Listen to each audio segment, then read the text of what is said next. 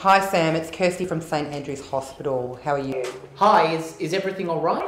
Yeah, yes, yes, we just found your number on a patient's emergency contact form, so I'm just giving you a call to let you know. Oh my god, is it is it mum? Uh, no, no, Monica has actually been admitted, and I, I just wanted to let you know that she's okay. And Monica.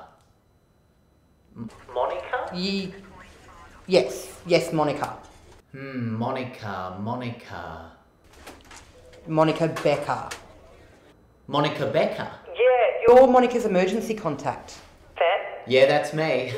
Monica Becker. Yeah, right.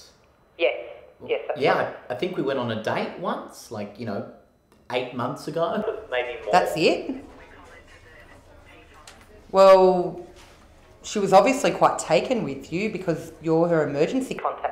Not really. No, it was pretty horrific. She kept she kept falling asleep at the dinner table.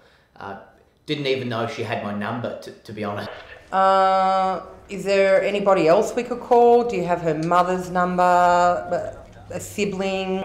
No, I, n- I never met the family. It's not it's not really first date material, is it?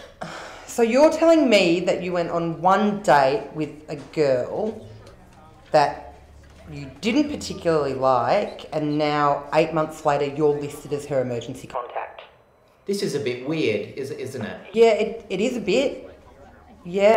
Look, I mean, I could come down right now if you like. I mean, I could go and buy Monica some clothes, or I could go to her house, meet her housemate, get some clothes. That might look a bit weird. I don't know where she lives. Yeah, or maybe I could just come down right now, and you could you could even reintroduce her.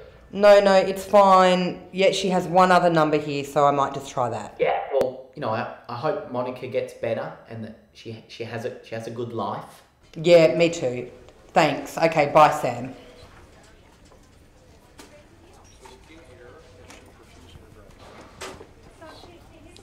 Hello, this is Domino's Pizza. Can I take your order, please?